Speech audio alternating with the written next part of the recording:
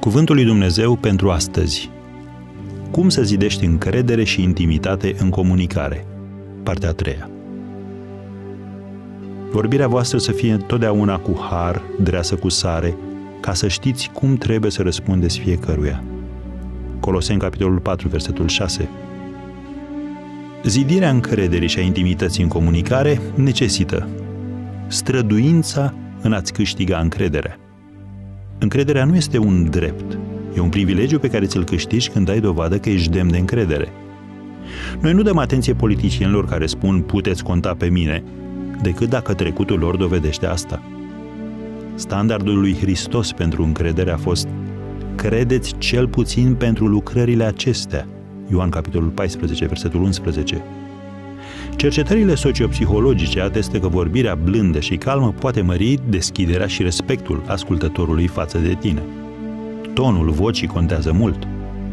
Universitatea din Houston a făcut un studiu prin care s-a descoperit că dacă vorbești mai încet și mai rar, ascultătorul va răspunde cu o mai mare deschidere și încredere. Această descoperire a ajutat pe oncologi să le dea pacienților veștile rele într-un mod mai încurajator – când doctorii și-au redus debitul verbal și și-au coborât vocea, pacienții au perceput ca pe niște empatici cărora le pasă. Biblia vorbește despre un răspuns blând, Proverbe capitolul 15, versetul 1. Ce mai necesită zidirea încrederii și a intimității?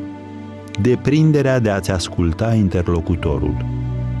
Ascultarea este o activitate dificilă, întrucât din obișnuință ne concentrăm atenția pe noi înșine, pe propriile noastre interese – Studiile arată că omul de rând intervine înainte ca vorbitorul să termine. Chiar și doctorii care sunt instruiți să audă informații medicale importante au tendința de a-i reduce la tăcere pe pacienți după primele 23 de secunde, cu mult înainte de a spune tot ce au de spus.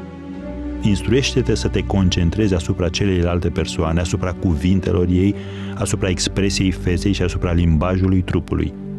Astfel, în numai câteva săptămâni, vei reuși să devii genul de comunicator în care oamenii au încredere.